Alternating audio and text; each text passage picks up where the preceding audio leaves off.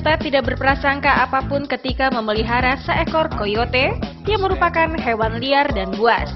Bahkan gadis kecil ini tidur di ranjangnya bersama koyote yang ia beri nama Wiley. Koyote menjadi anggota dari keluarga ini sejak diselamatkan oleh Rick, ayah Haley, tiga tahun yang lalu. Kini, Wiley adalah salah satu dari dua koyote di Amerika Serikat yang dijadikan peliharaan rumahan setelah dilahirkan di alam liar. Di peternakan Hennestad di Wisconsin, ia memperlakukan koyote seperti anjing biasa. Hewan yang memiliki bentuk setengah serigala ini duduk di samping perapian ketika musim dingin, pergi jalan-jalan mengikuti majikannya dan bahkan mempunyai kursi empuknya sendiri di dalam rumah.